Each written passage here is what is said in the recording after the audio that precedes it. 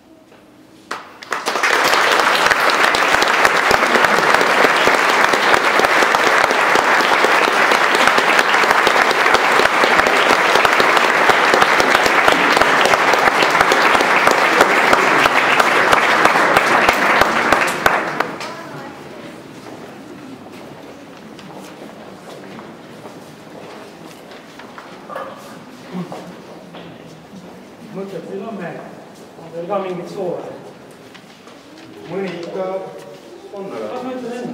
räägi, räägi. mul on väga asjakohane soov, võib-olla isegi kaks. praegu tekkis selline mõte, et sooviks, et mul hääl nii kõrgelt ära ei läheks. teine mõte on selline, et ma sooviks ilmsel kombel, et mu sõnad paremini meeles püsiks. ma ei peaks nii tihti näoki vaatama.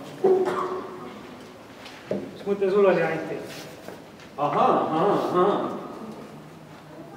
Mina sooviks, et me kõik hingaksime üheskoos. aga proovime seda kohe. hingame nina kaudu sisse ja suu kaudu välja. ja nina kaudu sisse ja suukadu välja. proovime jälle. ninakadu sisse. ja suukadu välja. väga hea. pagan, kõva kopsuma. aga minu, minu sooviks oleks see, et, et äkki jõulude ajal tuleb jõuluvana, toob mulle mingisuguse saja kahekümne kilovatise mootoriga murutraktori, siis saaks muru niita kodus. aga, aga samas on ka niisuguseid mõtteid, et, et ma sooviks, et, et meil läheks mai, mai alguses kõik hästi, sest äh, mul on tuleku, tulekesi esimene laps. et äh, soovin, et see läheks hästi ja, ja, ja